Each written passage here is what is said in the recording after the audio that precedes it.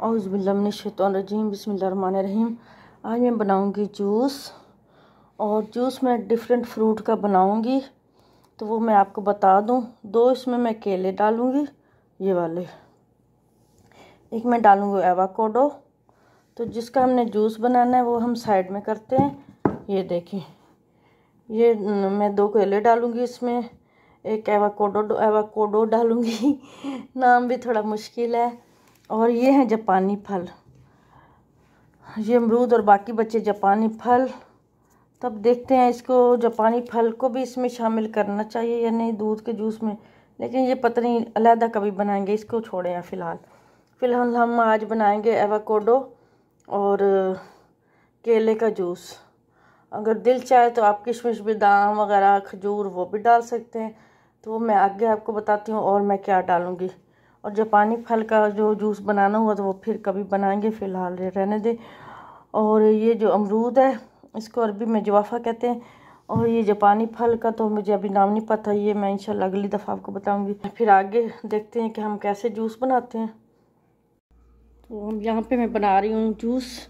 और पहले भी मैंने आपको बताया कि केला और एवोकाडो और ये मैं खुश्क मेवाजात का बनाऊँगी यहाँ पर और ये मैं दूध भी बनाऊँगी। तो सबसे पहले मैं एवोकाडो डालूँगी इसमें और केला भी डाल दूँगी।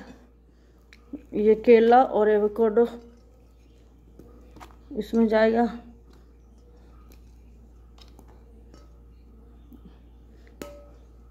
ये केला और एवोकाडो उसके बाद ये है बादाम, पिस्ता मगज़ और तीन खजूरें।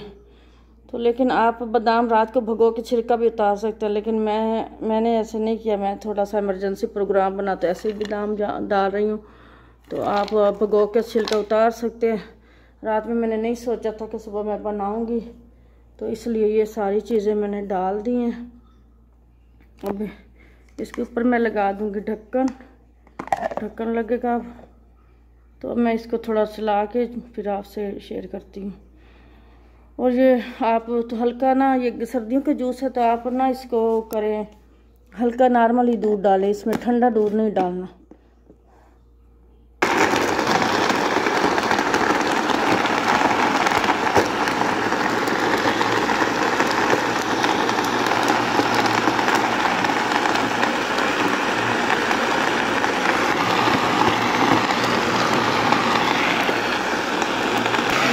तैयार हो। गया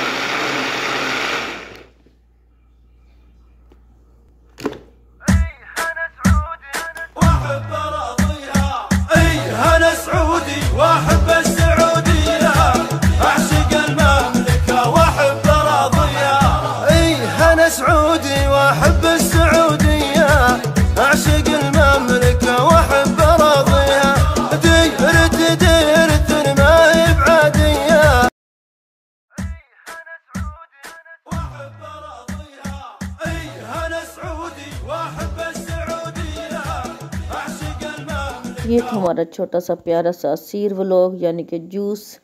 अरबी में जूस को असीर कहते हैं और हमने दूध के साथ साथ बनाना, एवोकाडो और मिक्सरात, यानी कि ये बादाम, पिस्ता वगैरह शामिल किया।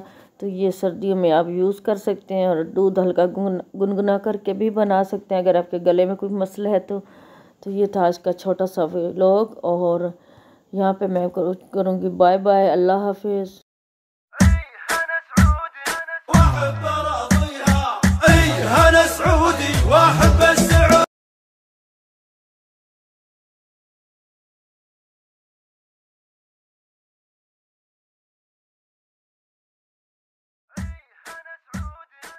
Akbar.